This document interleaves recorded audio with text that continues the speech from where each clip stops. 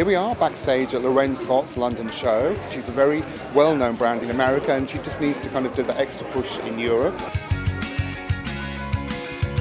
New York really is about business and about growing a business, whereas London is really the hub of creativity and it's built a really great reputation about being a creative kind of force to be reckoned with. The fact that she's actually joined here with some other high profile designers really adds to London's critical mass as a kind of market leader for fashion and, and for business.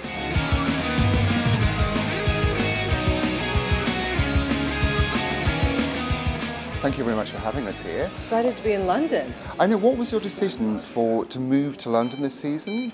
Well, we always go to our own drumbeat, and I just felt like London was right. It's the right time. I, our business is expanding in Europe, expanding in the Middle East, moving a lot into Asia, and I really feel like London is such an important city, and it has such an it has the most important international foot traffic.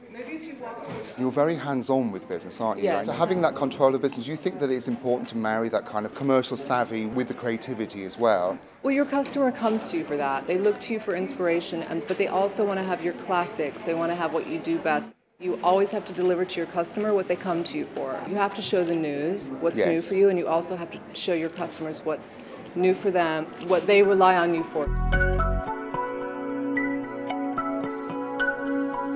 I think L'Wren Scott is going to come to London and really do what she does best, but do it with a bit more style and a bit more clout, and do something really eye-catching that's really going to get people's attention here. Today's show could be quite unusual in the fact there might actually be food here, and that's no mean feat for a crowd of 132 guests. We had fun playing with gold and texture and seeing how I could interpret my inspiration into the collection.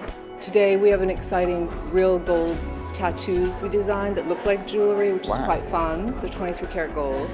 All the shoes have been uh, gilded 23 karat gold. Accessories 23 karat gold.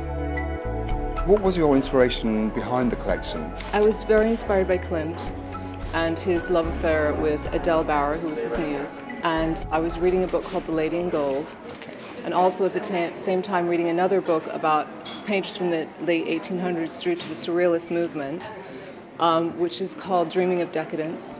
And I guess I started dreaming of that too.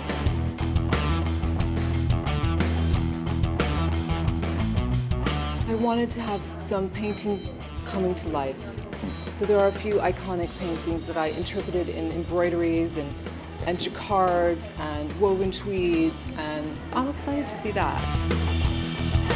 L'Wren Scott was a model and then a stylist, and then she moved from being a stylist to creating her own label to fill a gap in her own wardrobe of the things that she couldn't find for herself. I was making so many clothes for my clients, hmm. but I thought I didn't have a lot to lose by trying. You have much more to lose in life by wondering what could have been. I think the L'Wren Scott girl is very chic. She likes luxury. She knows who she is. She doesn't need to have her name in lights. And um, she's somebody who appreciates beautifully made clothes with, with beautiful hand embellishment. When you notice the beauty of the girl, you've done a good job.